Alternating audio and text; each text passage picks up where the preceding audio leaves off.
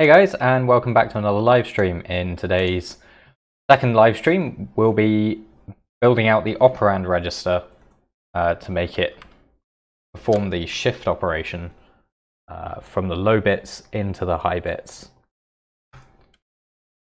So this operation is called a prefix, a prefix operation, um, and enables us to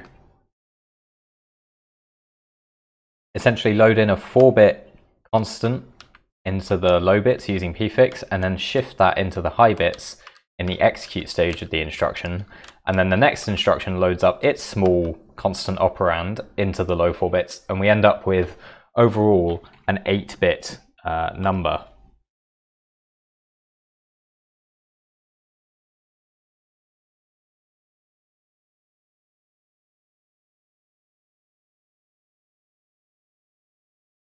Okay, so to do this, we need to move these upper bits into the, sorry, these lower bits into the upper bits uh, by somehow lifting these up. Um,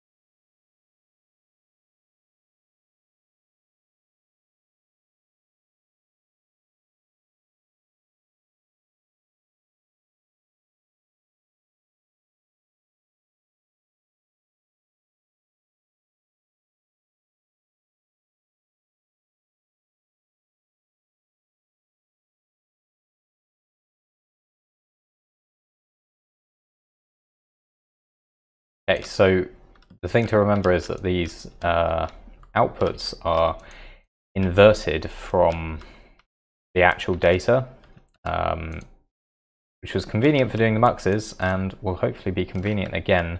We just need to remember to invert them before we put it back in there.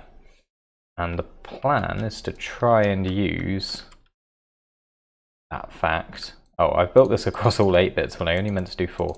Um, the plan is to try and use that to avoid the need for repeaters potentially, but we'll see.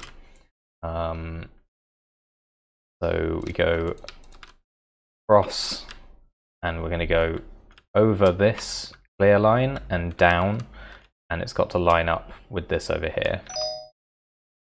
Lazy.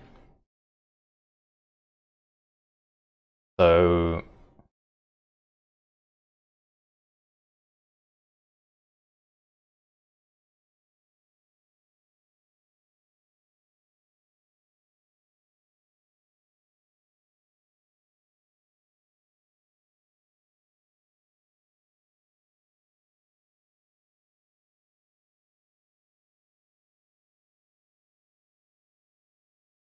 Okay, so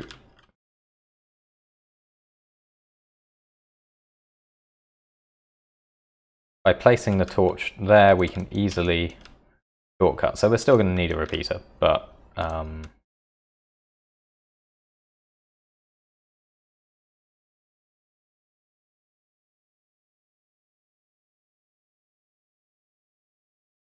that's one, and then the others.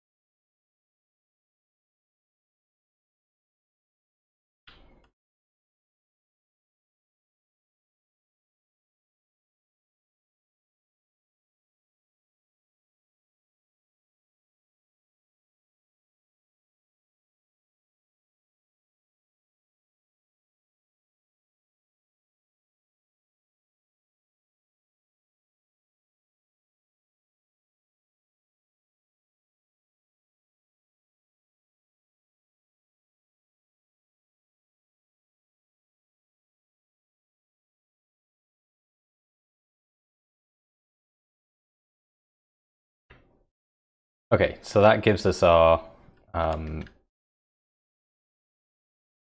four bits.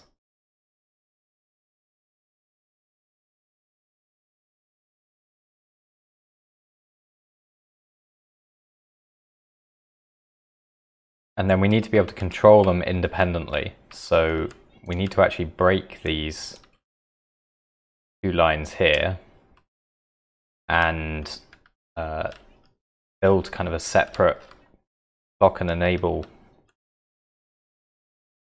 signal. Um,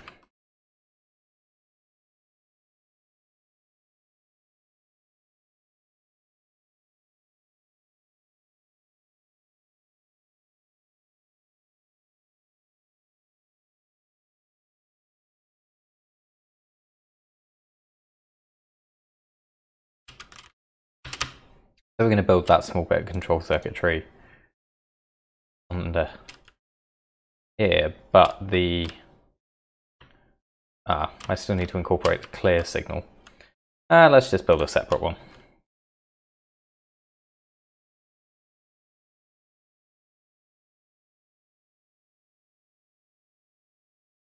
So we'll do this, this, this.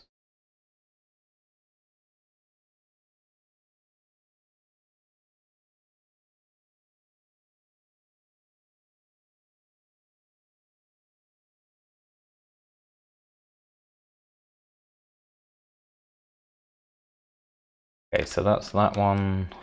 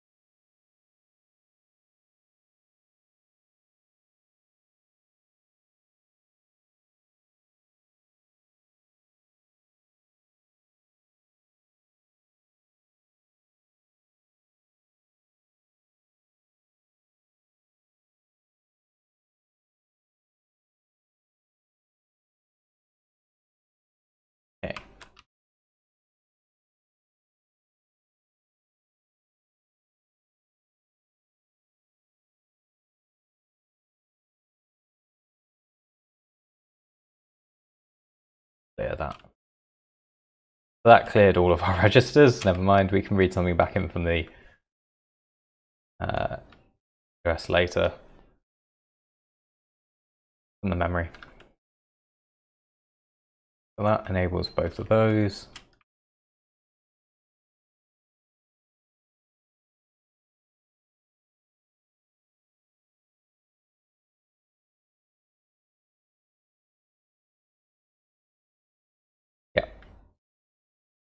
That seems to work, and then we can just wire that in under here.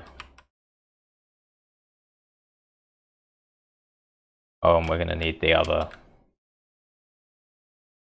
the other one here.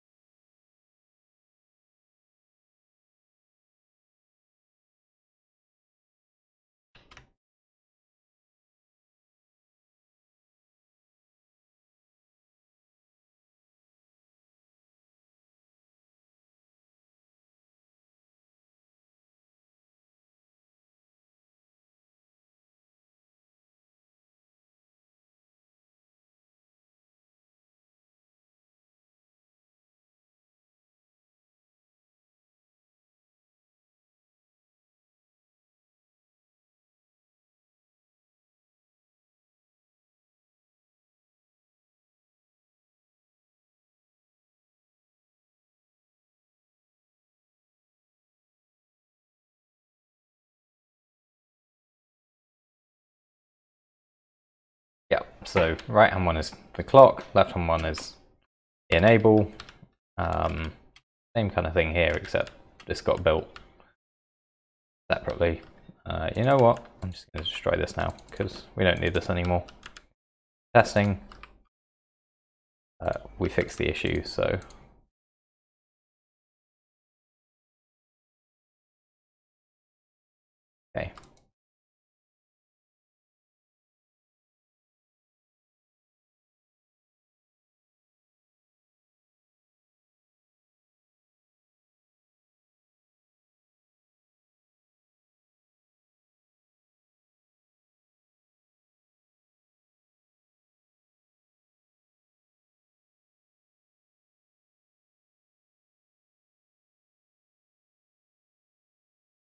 Right, so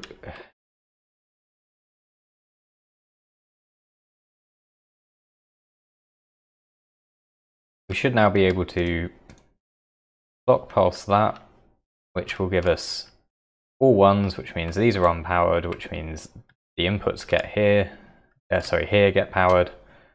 Uh, these are currently set to zeros and are all powered, so if we now pulse the clock, with the top bits enabled, then all of our outputs switch off and we're able to, and then of course we've shifted the low bits into the high bits. Uh, at the moment we were doing the program counter, which is currently zero because we cleared it, um, minus the operand register. So at the moment the operand register is now uh, all ones. So in other words, it's minus one, so minus minus one is plus one. So that's what's happening here.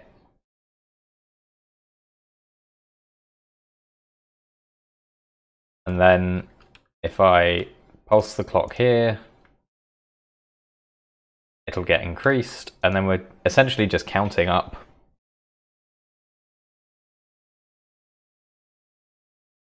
So you can see we're now just counting in binary because it's subtracting minus 1, which is adding 1. Great. So that's the operand shift. Nice and easy, very short. Um, slightly bigger challenge is the PC increment, uh, which I'll tackle in a moment. I'm just going to tab out and have a look at the Logisim design to see what else we might be missing from the data path.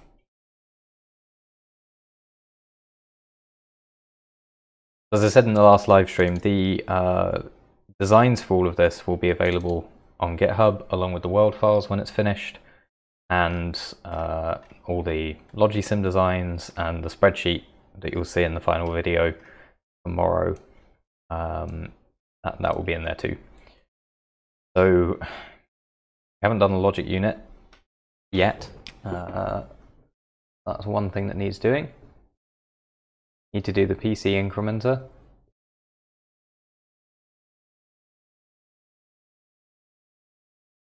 Along with its mux in like the multiplexer to select it for the program counter versus the arithmetic unit. Uh, we need to do the clear signals need to be linked up. The clock and the phases.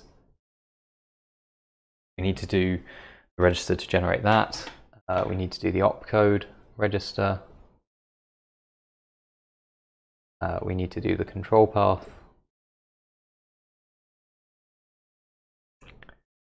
Um, sure, whether there's else really. What else is there?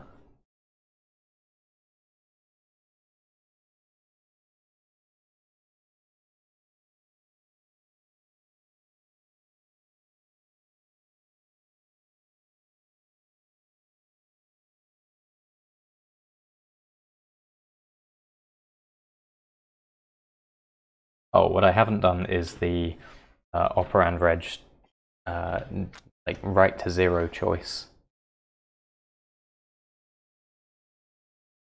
Essentially muxing between the low bits and zero. which is essentially just an AND gate. Um,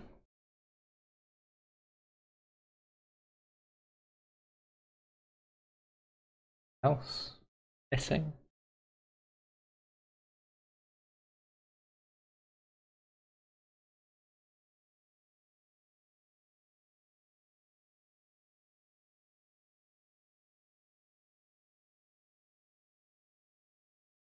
I think that's much everything we're going to need if I build all of that. So uh, drop back into the game now and think about which one I build. Um, let's just quickly do the logic unit. Um, so the logic unit, quite straightforward again, because we're outputting the inverse of the data, uh, to tell if something is zero, it's essentially just an AND of all the bits together. And uh, tell if something's negative, then it's just the inverse of this topmost bit. Um, yeah, so I just need to work out how to take a copy of these signals.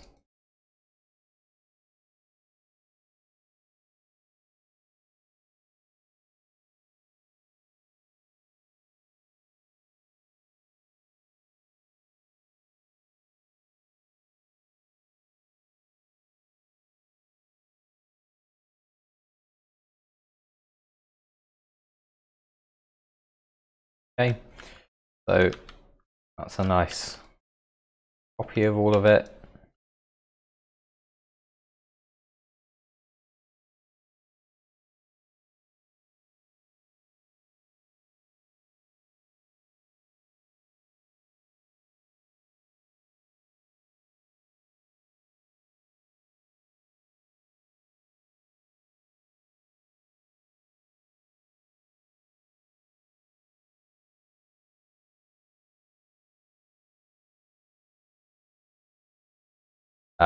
Oh, I don't.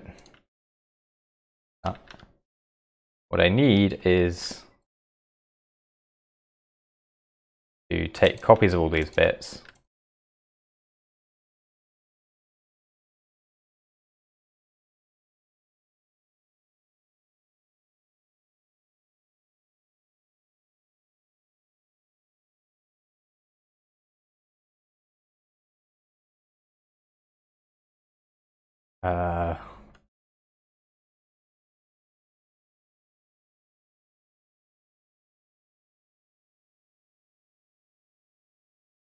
I'm just going to see whether this power reaches.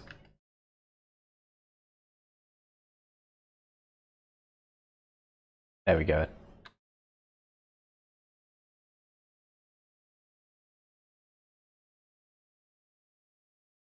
Uh, this is going to be inverted on the end. This will tell us whether all the bits are zero.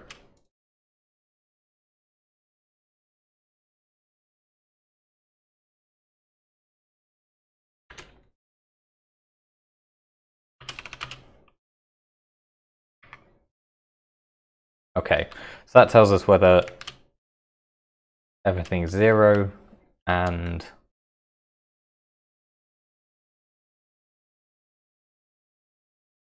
we invert this, this bit here will tell us whether the uh, value is negative or not, basically.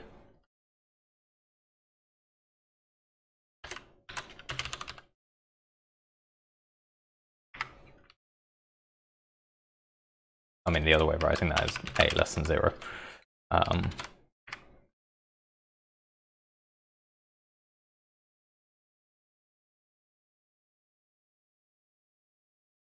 So double equals is like the programmer's way of writing this, and single equals would be the mathematical way of writing is is equal to zero. Um, and depends what background you're from as to which you'll end up using more.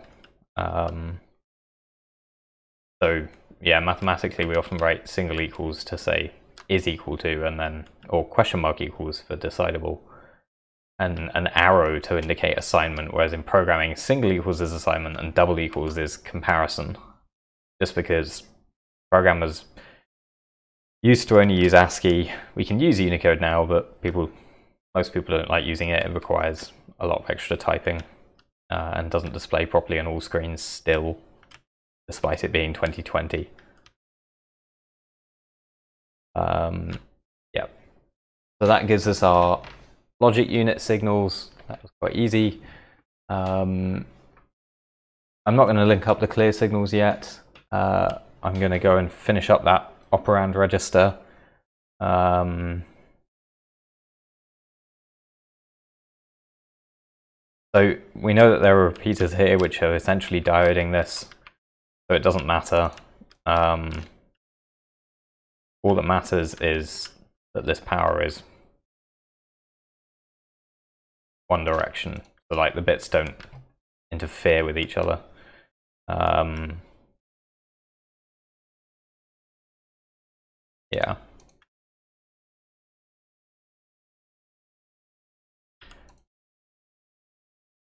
So if we power this, it will disable all of those torches, resulting in a zero. If we depower it, it will enable all of this, resulting in whatever was coming from here. So again, really having the registers store the inverse of the data is actually super helpful. Um, makes it really easy to do these NOR gate based multiplexers. Turns out I didn't need to leave as much space up here really, but whatever. Okay, so that's the operand register being multiplexed to zero. Um, now I need to do the PC increment.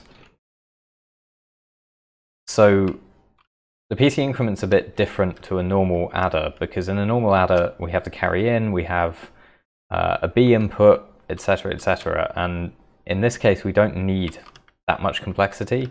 Um, we're not going to be doing subtraction on the on the program counter. Uh, it's only ever going to add one, so we don't need all the complexity of a B input and a carry input. Um, we just need to be able to add a constant one. So if this is our data coming in, uh, when we add one, which is what we want to come out over here, um, so we have two possibilities. We're either doing 0 plus 1, which will equal 1, or we're doing 1 plus 1, which on the sum will equal 0, and on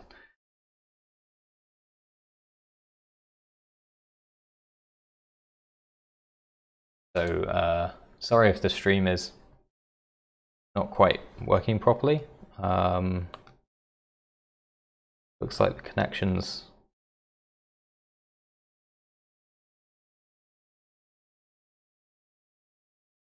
Yeah, looks like the connection's not quite working uh, properly.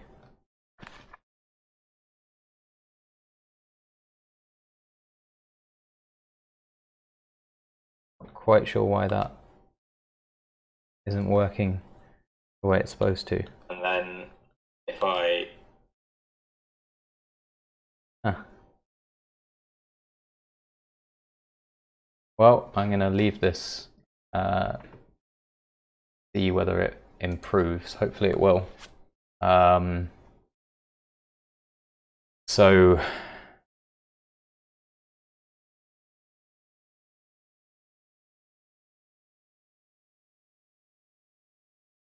okay, well, uh, yeah, so the sum will either be uh, 0 plus 1, in which case it's 1, 1 plus 1, in which case it's 0, uh, which is essentially, if you just look at the left-hand side, it's an inversion.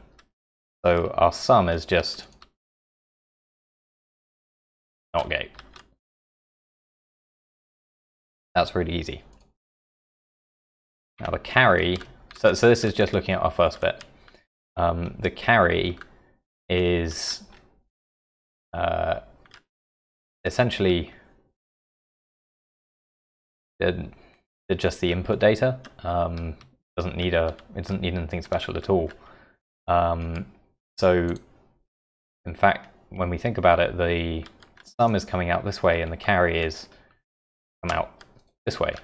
Um, so this is 1 plus 1, which is 2, so we get a carry and we get a sum of 1. Uh, this is 0 plus 1, uh, so sum of 1 and carry of 0. So the next um, line across is one of these half adders like this uh, from our original full adder. That's what I'm going to try and build and get the inputs in the right place. So it will come across like this, up like this. Fortunately, this design looks really similar to a D flip-flop, so you know, they, they both use similar kinds of patterns. Important to try and get this right.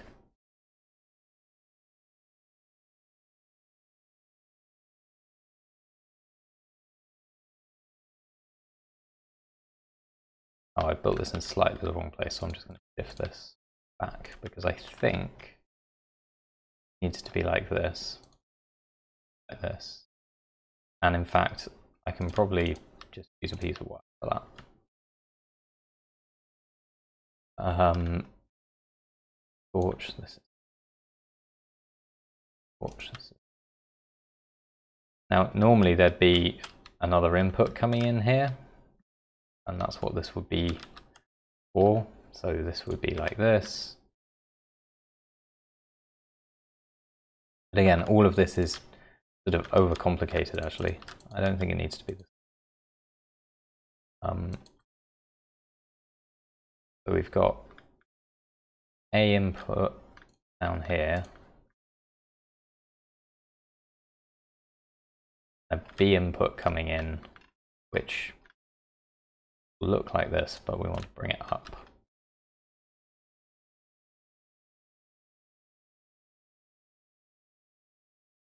So if we're doing 0 plus 0, we'll get 0.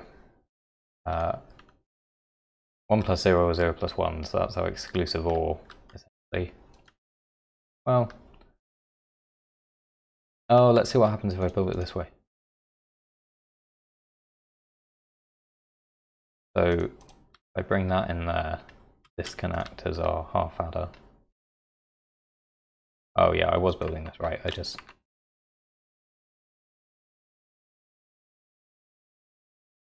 complicated it.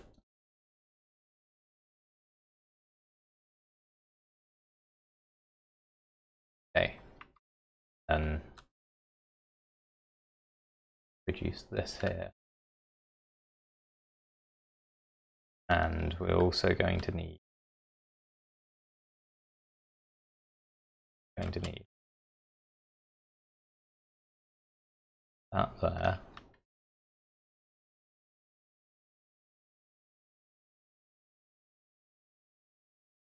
All right.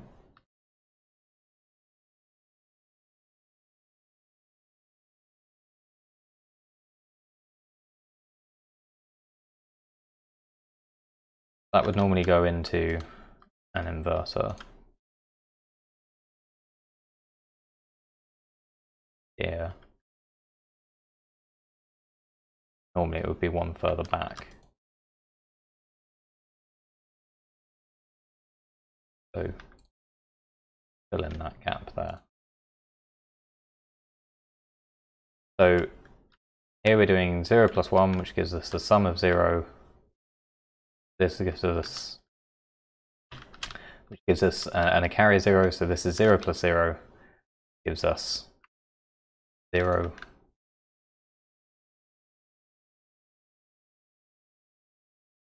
Yeah. And I step this down properly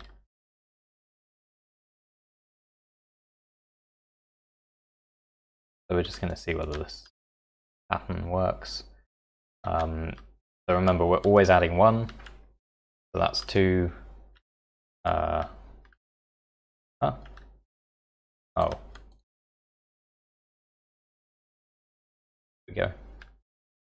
So adding 1, so 0 plus 1, 1, 1 plus 1, 2, uh, 2 plus 1, 3, and uh, 3 plus 1 should have been 4, but it wasn't. So what did I do wrong?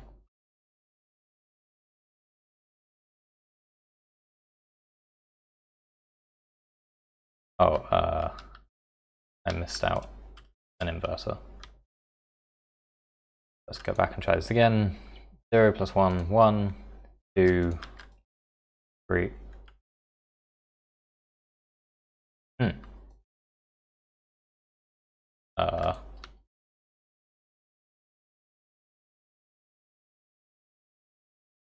okay, why is that not giving me I expected?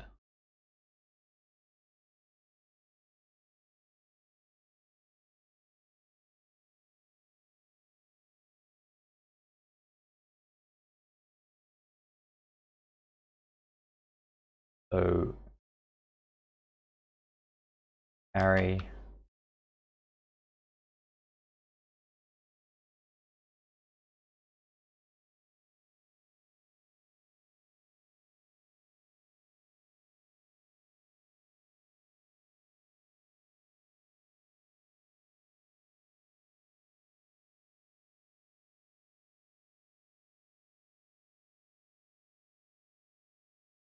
I missed it here.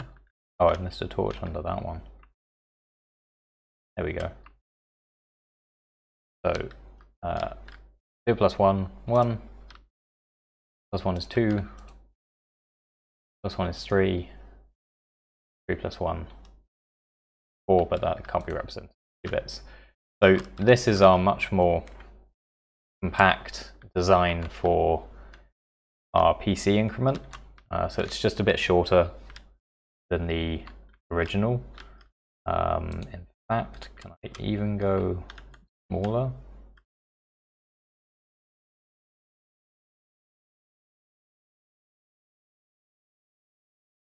One, three, four. Yeah, so I can even go one box smaller than I had it. And the power should chain uh, if I place this torch right place. So now the, the power will chain because it will go here. Um,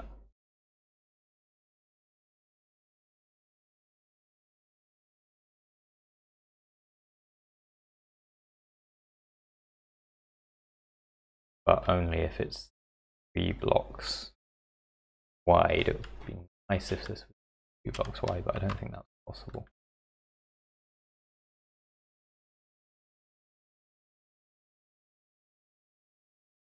If I bring this out further, I might be able to make this two blocks wide. The, the depth here doesn't really matter. I allowed enough space for the depth, but if the thing isn't two blocks wide, then uh, it probably won't fit in the width I allowed for this thing. So I'm just going to out my theory by you know, double inverting is pointless but best. Um, then I should be able to this across one. Torch under here.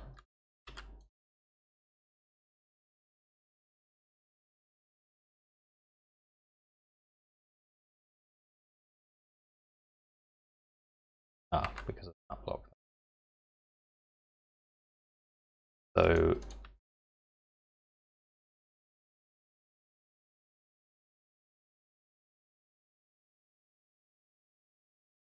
um,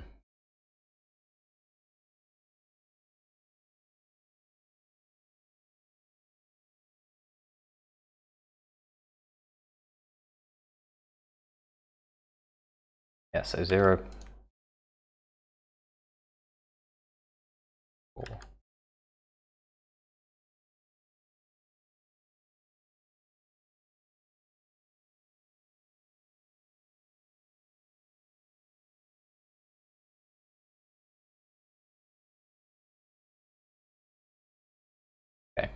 So this is kind of convenient because just lines everything up uh, and shows that this is gainable without it breaking the design in any way. That means that this can be two blocks wide, which means it will hopefully fit in the same space. The only thing I'm thinking about is whether this is going to power the block here. Hopefully not. And that one's going to next to this one, so that's not going to be powered. Well, let's just build a second one and see whether this actually works as a chain thing or not before I start copying it.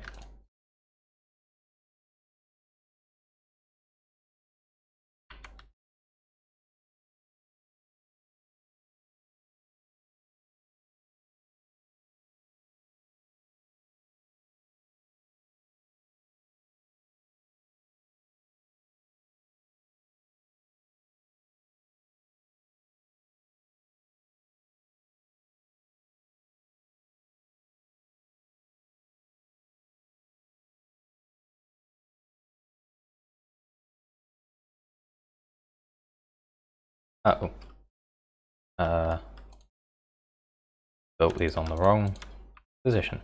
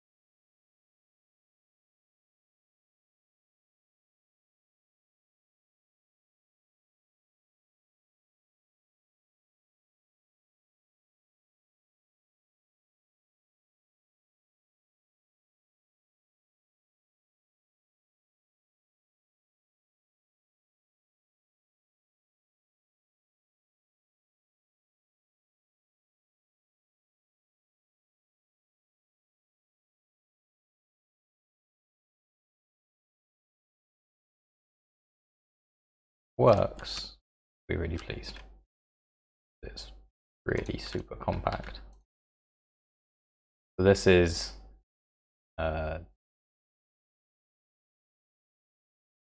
okay. So that's not work because it's setting the carry bit. So now I need to work out what's getting powered that shouldn't when I do that.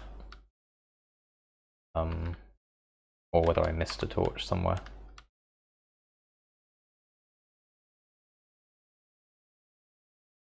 Have missed torch. There we go. That's producing a 1 at the right time and power this on. We're always adding 1. Okay, so adding 1 to that works just fine.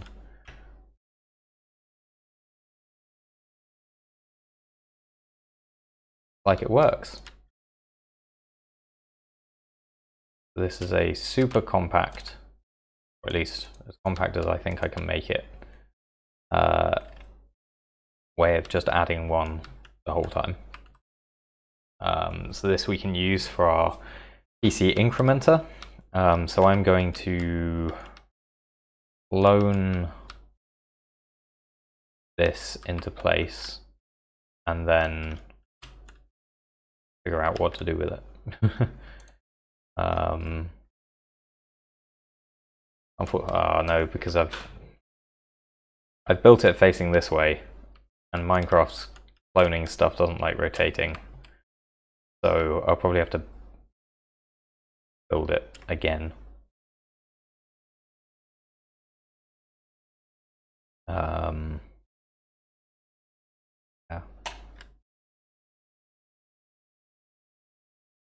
And I know that I want the PC increment to come in under here uh, to power these lines um, from over here. So yeah, the low bit being on.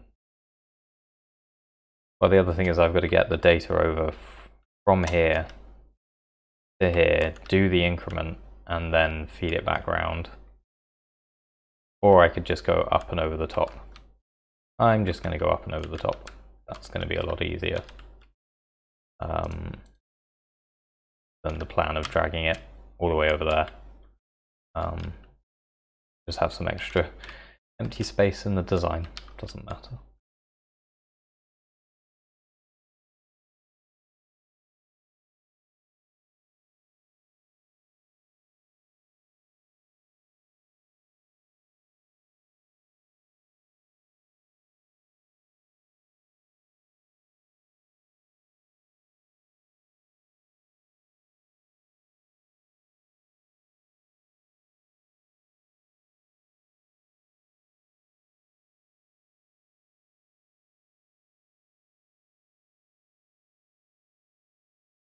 I need to see what level to bring these to in order to be able to get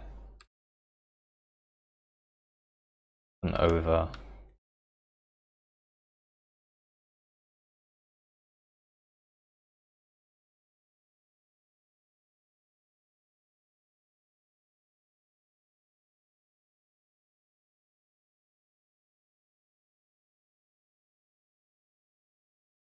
I'll build the PC incrementer in this space. This is the low bit.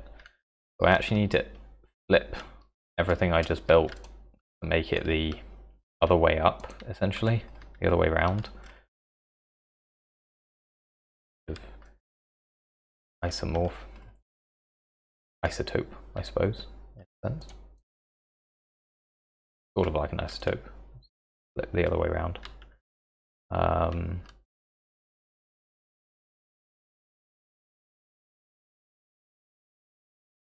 this was like this. This was the sun coming out. Uh, out of space. Two goes into here, and this goes.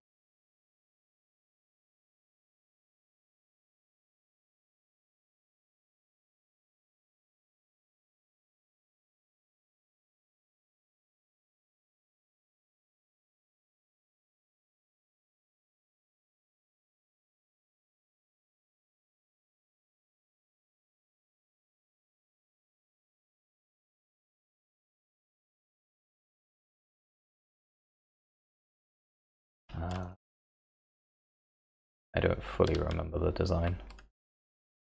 Is this?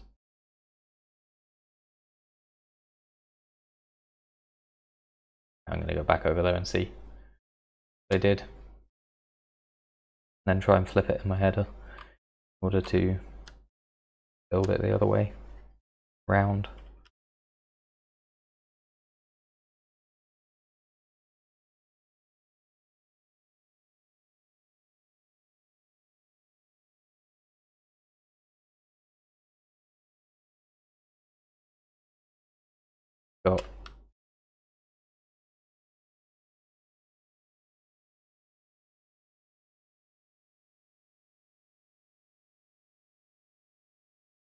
Data coming in like this. Now this is inverted data, uh, meaning I actually need to do this because yeah, the registers store the opposite and we definitely don't want the opposite coming in here.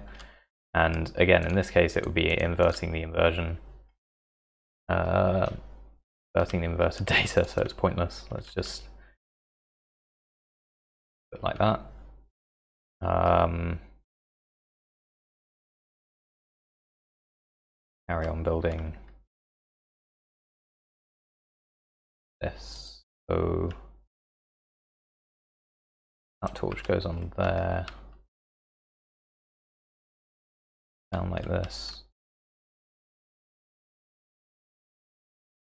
That torch goes under there. And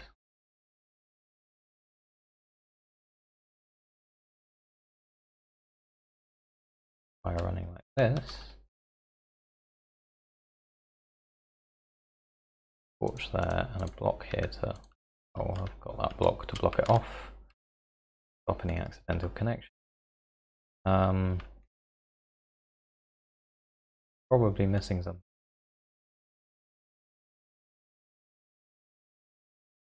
Might be missing this. But I'm going to go and check.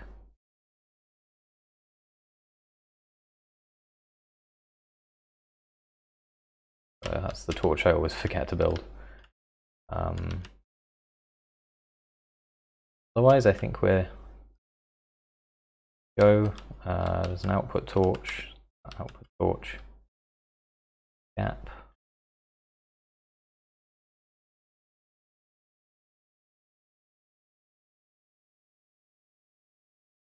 Got all of that. This is our result coming out.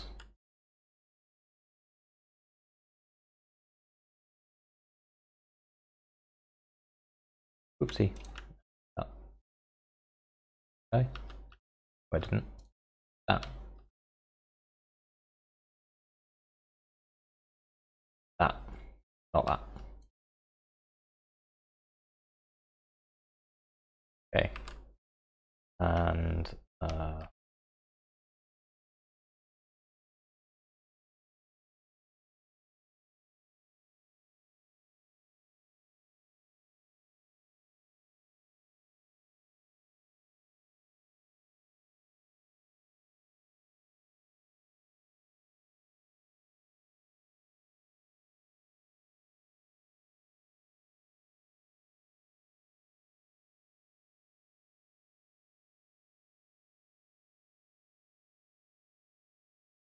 and uh, yeah, hopefully this will represent the correct value. So this first bit, the input, well, all the bits, the, the inputs are inverted. So in this case, this is uh, 1 plus 1 plus 1, yeah, uh, which gives us the correct result. Um, this is 0 plus 1. Doesn't this is 0 plus 1. Um, correct result. And this is 2 plus 1.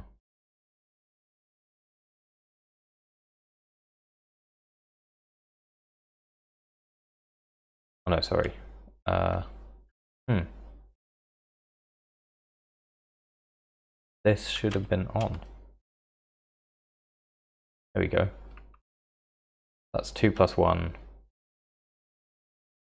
0 plus 1, and uh,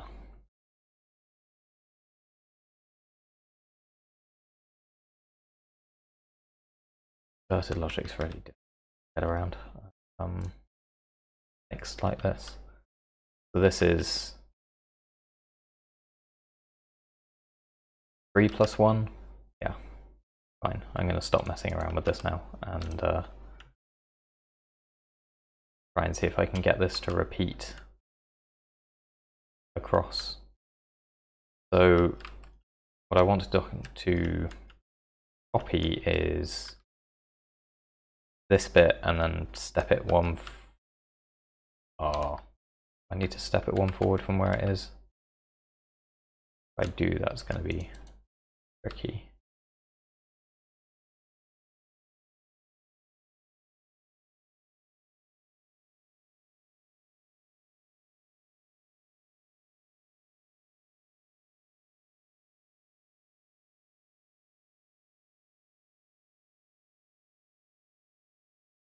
One of these has got to uh, somewhere.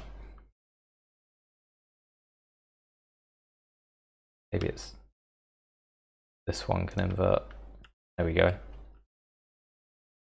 I can probably do the same thing up here to get a repeated design. Alright, so this coordinate here, down one, is clonable. Uh, this is our maxima coordinate because of the way Minecraft works. Um, so I'll fly up high enough. So I'm going 153, 50, 41, and one across, which is something 40. So uh, the X I want to go through to all the way over here, which is 116. The Y I want to be uh, on this level, I think. I can never tell whether it's the one I'm standing on or not. Let's do it to this. The Y is going to be 40. And I'm going to be copying it um, from here to 39. Right. Clone 116, 40, 40, 153, 50, 41, 116, 40, 39. Nope, 38. Go, go across. That built a line. It didn't affect the repeater underneath. Good. Um,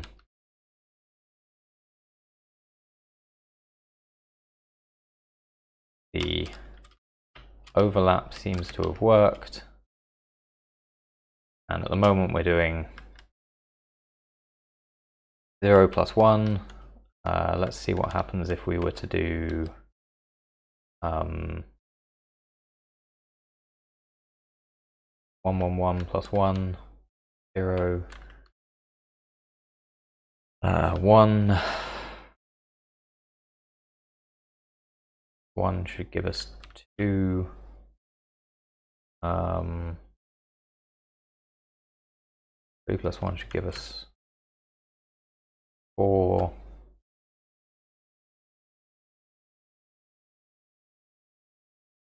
Oh.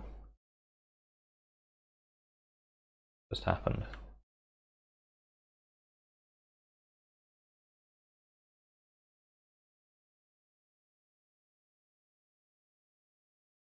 Hmm.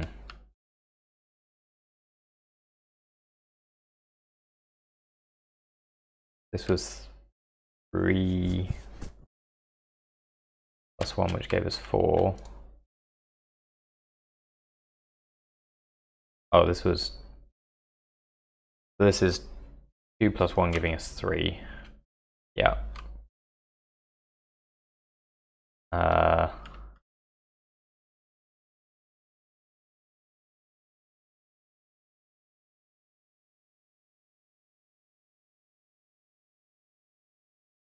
this is 6 plus 1, giving us 7. Good. Okay, I think we get the idea. It seems to generally work. So now we can clone that across. Um, these runs aren't being connected yet. That's fine. I'll connect them up in a minute.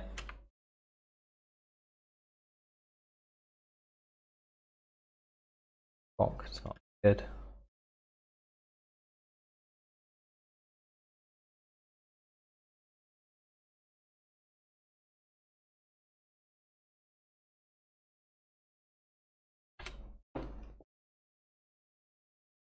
Uh, that's one, two, three, four, five, six, seven. This should be the last one. Hopefully we'll line up that there, yep. Now I just need to build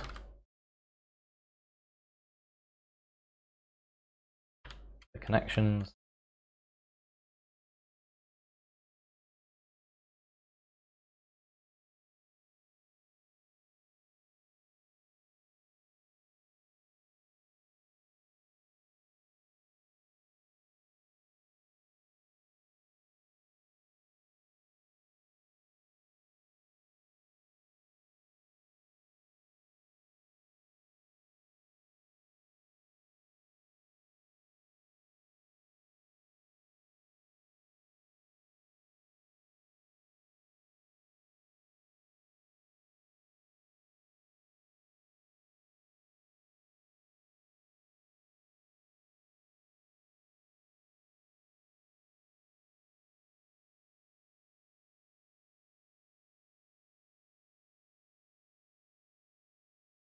So at the moment it should be doing 0, 1.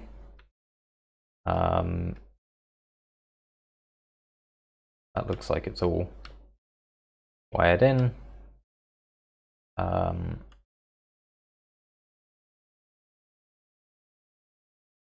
four, five, six, seven, nine, ten, eleven, twelve, thirteen, fourteen, fifteen, sixteen.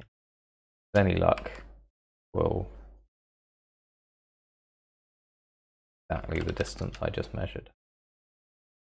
Yeah. If I go one block further, it should have run out. So place all of these.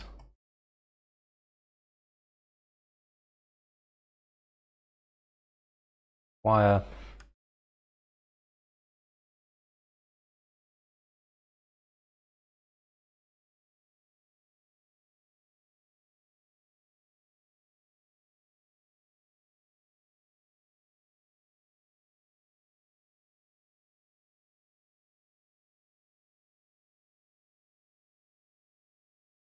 That's just disabling the uh, reading from the arithmetic unit. Um, don't want to be accidentally doing that. And I'm going to just misalign that slightly. Um,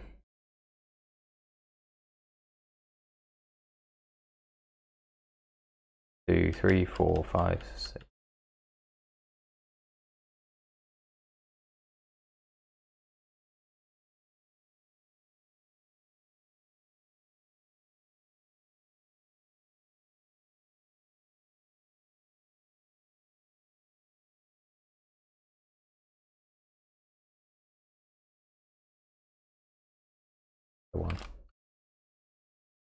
Reason for that is it's going to allow me to step down here, have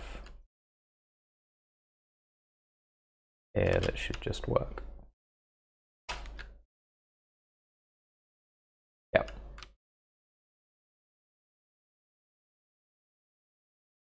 Back, delete this.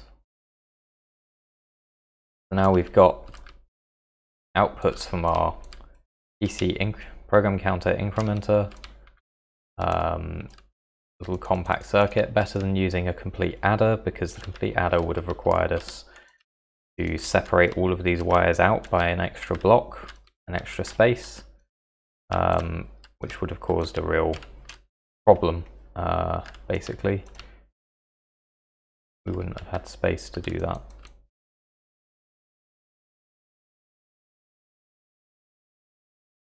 Okay. So now I can step this down. Uh, how did I do downwards before?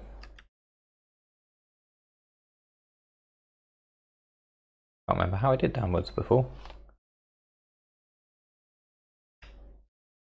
Managed it over here. Oh yeah, the repeater comes in behind. So we probably have space to do that on these because there's a slight overhang. Yeah. So oh, I don't think we need to do the reversal just yet, actually. We've got quite a long way to go down. I'm going to try building the mux circuitry under here and so our data is coming in from behind us. So if data comes in at this level,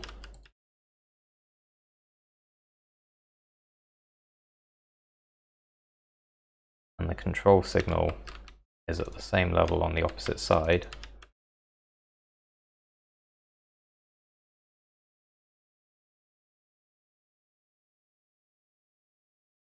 where these come in and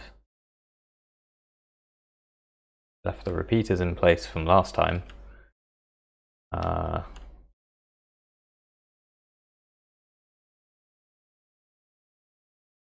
hmm. If I push it a bit further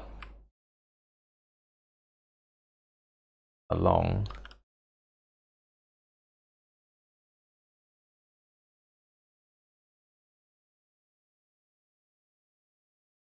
if I can move these bits a tad closer, then uh, I'll avoid the need for these repeaters, I think.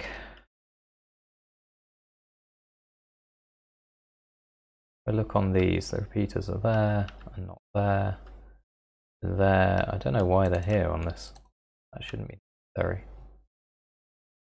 All the torches are close enough on those. Um, that's got one, two, three repeaters. That's one, two, three repeaters. One repeater. Uh, why has it not got the others? Just because I never tested it?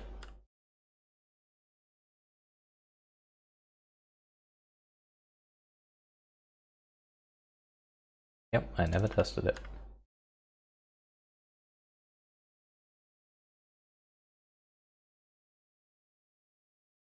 It makes me wonder whether this extra repeater here is needed.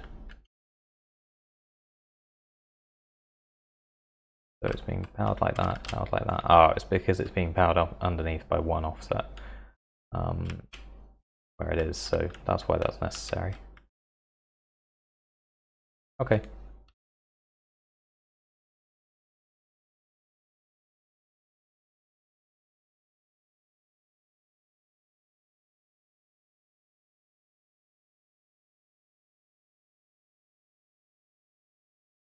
That's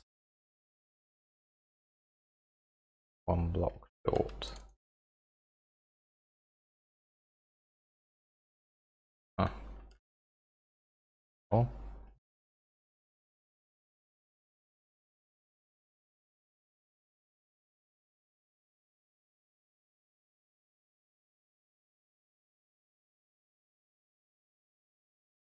That also suggests that wrong place.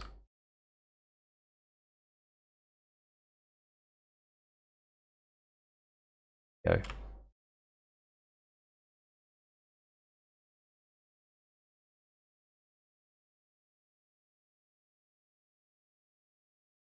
There's lots of little tiny bugs around.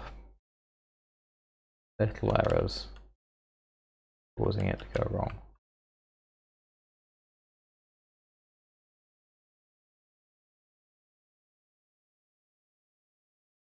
No idea how I'm going to figure out the timing for the clock on all of this. Try various things and hope. um, so, in that case, these need to be close enough.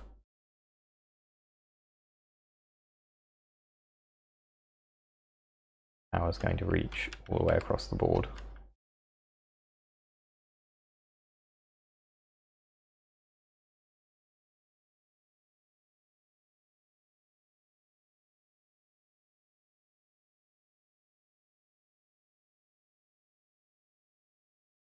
This is our PC increment signals coming in this way. Control signals will come from the other side.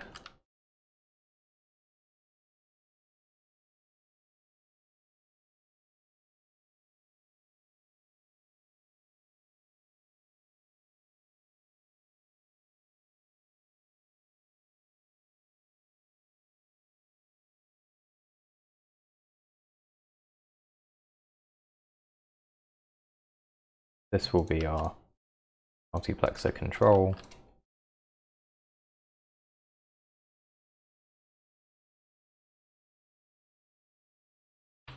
Wonder.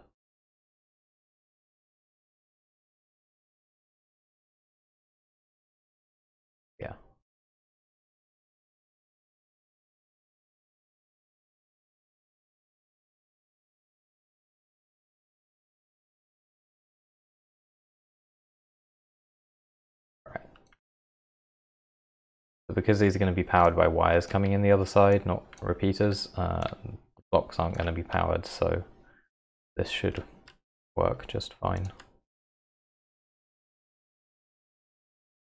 Won't interfere. There we go, we can disable that or enable it. Um, I'll link it up to the PC select in a moment, but for the moment we'll leave the two interdependent. Uh, very independent. Will become interdependent at the moment. Give myself some space to work in.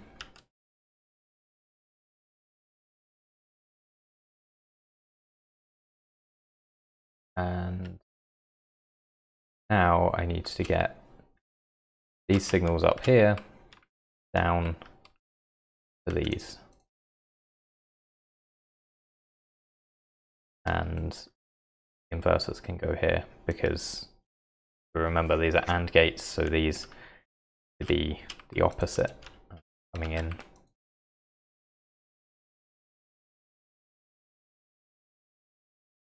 Oh, and this is all set by one or two.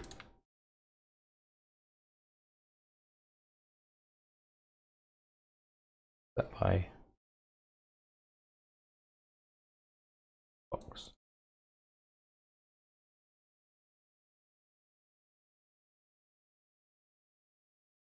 Oh, I see, I've stepped across twice. Hmm, that might cause a problem.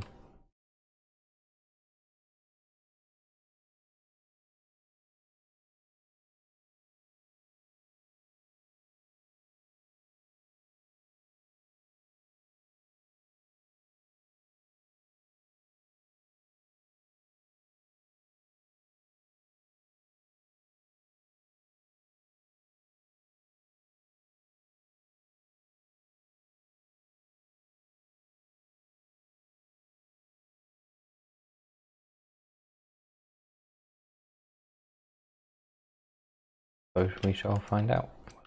Doable.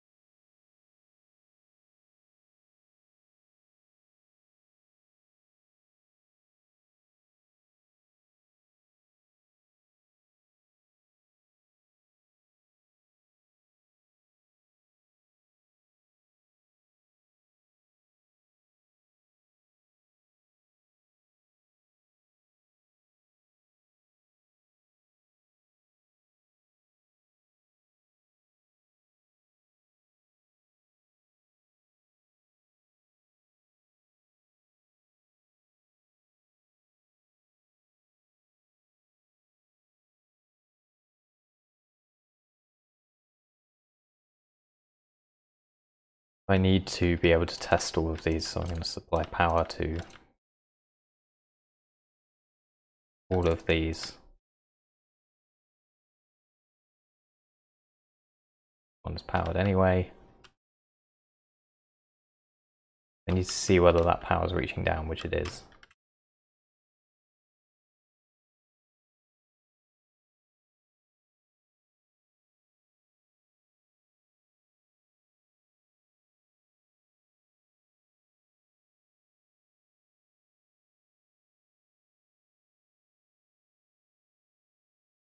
I think the spacing of this is just perfect for what we need.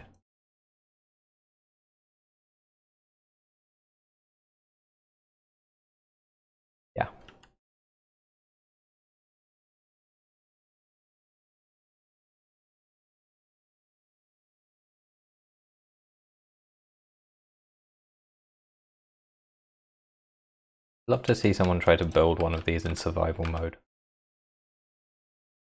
With all the iron. No cheating, no like... Uh,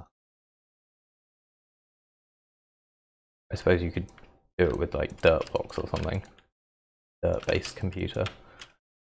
Um, it would be kind of funny to see someone attempt to do it entirely as per this design, iron, redstone, everything. I'm not sure it'll be very useful either because uh, this this particular computer is going to be so slow that it wouldn't respond to anything. By the time it's finished fetching an instruction, someone will have uh, briefed the program counter.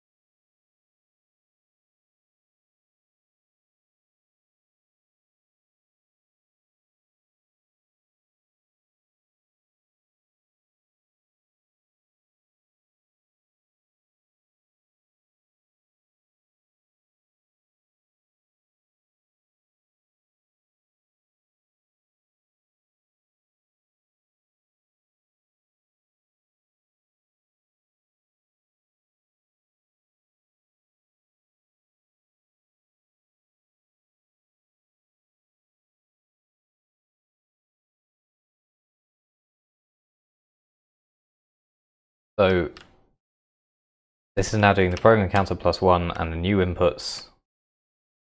Oh. Hmm. Interesting. Um, be off, that should be off. Why are these on? Oh.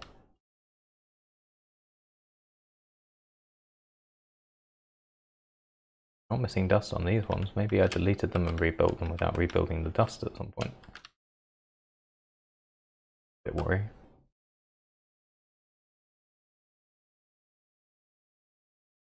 Be a million tiny bugs inside this machine that I don't know about yet. To fix, but anyway. Um, and now I can link up these signals here. Be a bit easier than the other registers because I've got tons and tons of space in which to do it.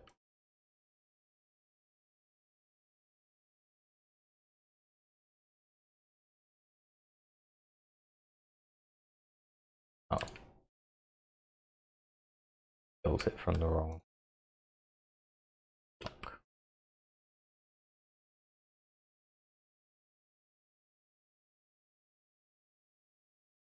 and one has to be the inverse of the other. So.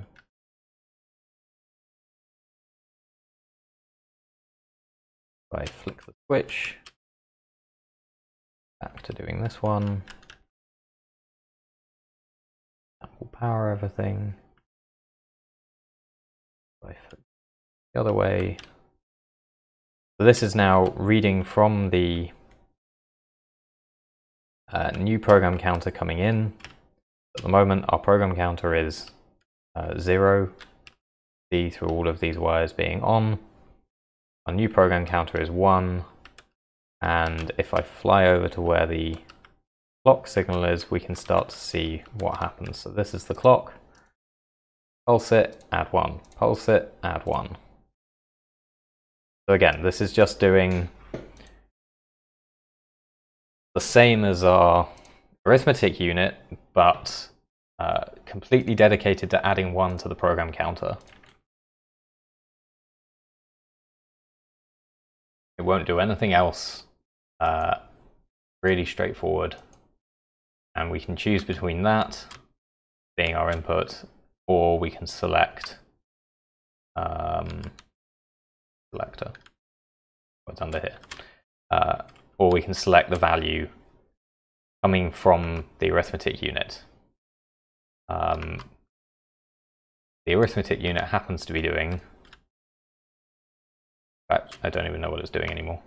Um, Don't know what it's programmed to do. I think it's doing operand register, which is currently set to all ones. My the operand register, which is minus one. The program counter is on the A input, and it's doing a subtraction by the looks of it. It's currently doing the program counter minus minus one, which is the program counter plus one, so that's a bit pointless. Uh, so let's just do the program counter plus minus one. So program counter minus one. Um, correct? Is what I've done? The input is the brand. Trying to search for where our data input is.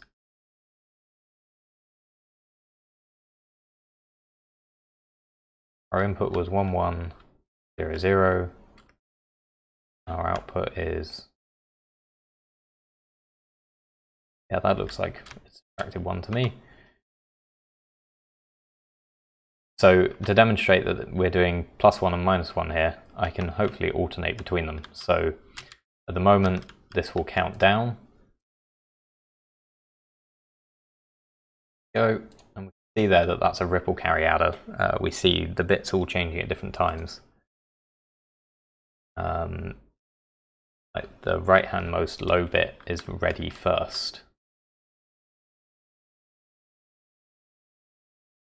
So that's counting downwards, and then if I go and flip this control lever, we'll start reading from the program counter increment, and it's going to start counting upwards. So we can see that um, the data input goes the other way.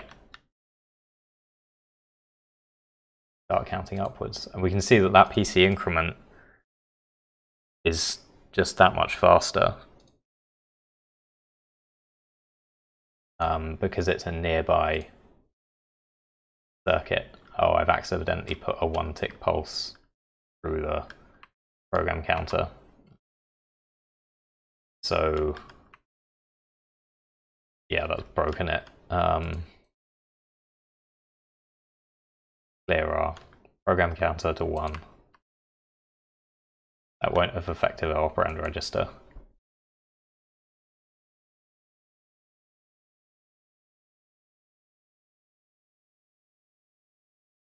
Okay, so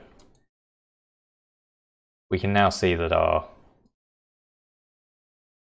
PC increment is a much faster uh, adder than our full arithmetic unit, which is to be expected because it's only a half adders each one, and there's way less circuitry. Um, but you can see as I as I pulse the clock here, this isn't too slow actually. This is getting the result back to us reasonably quickly. Um, yeah, like that's faster than I thought this whole computer was going to be.